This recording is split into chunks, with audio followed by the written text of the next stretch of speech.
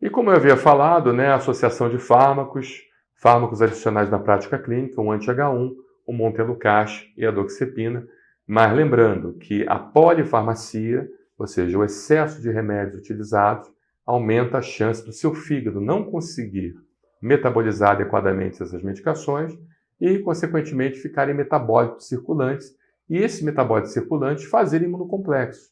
Esses imunocomplexos induzirem, então, a ativação de células, dentre elas o, os eosinófilos, podendo também ativar os linfócitos TCD4 e CD8, levando a necrólise epidérmica tóxica e síndrome de Steven-Johnson, que são entidades extremamente graves que podem levar então o paciente à morte. Tá? Então a gente não associa, por assim dizer, é, tenta não associar e hoje o protocolo ele é mais coerente. Ele é na, du na duplicação, triplicar a dose do antihistamínico é, de segunda geração e até quadruplicar a dose do antihistamínico de segunda geração. Então, como eu havia falado, atenção à polifarmacia, que pode induzir outros tipos de reações de sensibilidades alérgicas, como a reação do tipo 4. Próximo slide. E o angedema, o que significa angedema?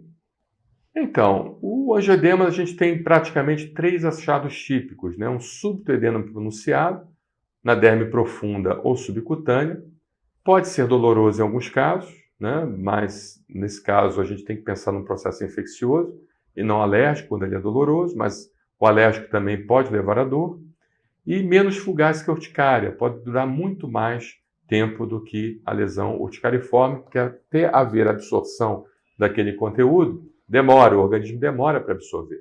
O próximo slide.